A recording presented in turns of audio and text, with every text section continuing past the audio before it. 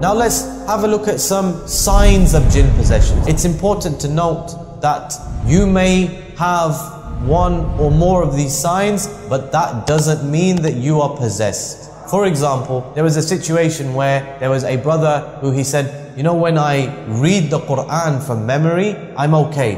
But when I read the Quran from the Mus'haf, from the actual book, I get a really bad headache. So the brother began to think, perhaps I am possessed. It turned out he had poor vision and he needed glasses. So when he was looking at the Mus'haf, he would get these problems. So let's not rush to say I'm possessed. So the first sign is there may be a sudden change in the personality or character of that individual. There used to be somebody who was very gentle. There used to be somebody who was flexible. There used to be somebody who was caring and loving. Then suddenly there's a sudden switch in their character or a sudden switch in their personality. Now they are very harsh, they are very rough and tough. The woman, from being a woman who was perhaps able to be patient and bear patiently, now all she wants to do is argue, all she wants to do is curse, all she wants to do is blame, etc. etc. All of these things, they may be due to jinn possession. The individual may have fits. So you may find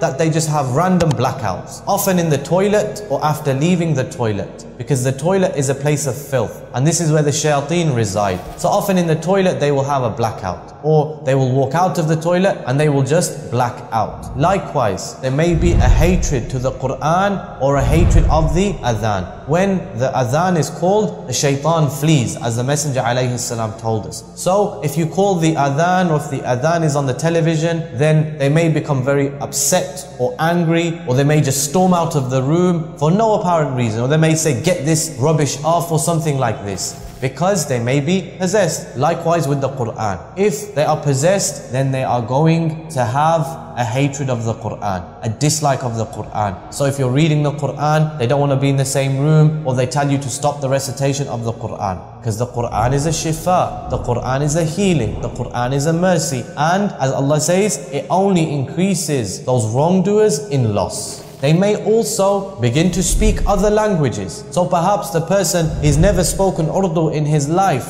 or he's never spoken Arabic in his life. Suddenly he becomes fluent in Urdu or he becomes fluent in a different language which he has never ever spoken. And you're thinking, how is that possible? How did you get to that situation where you're able to talk this language? Overnight, you are beginning to speak a different language. There may be a sudden increase in strength or a change in their physical appearance. So, for example, there may be a woman who is only 5 foot 2, 5 foot 3 and she's a small woman, yet it takes 4 or 5 people just to hold her down. Or there may be a drop in the personal hygiene of the person. Or they may have a love of being isolated and secluded in dirty, filthy places. I've had cases where people, they don't take showers for 2, 3, 4 weeks on end. From being somebody who's very clean, suddenly they have a dislike of of personal hygiene and their personal hygiene is very, very poor. Or they love to be sat in the toilet. Or they love to just go and randomly, 2, 3 o'clock in the morning, they just go and sit under a tree, or they just go to the graveyard, or they just wake up and sit in the toilet for hours and hours and hours on end. Likewise, there may be a hatred towards Al-Islam. So, if the jinn which is possessing them is non-Muslim, because just as we have Muslims and we have non-Muslims, if the jinn which is possessing this individual is a non-Muslim jinn,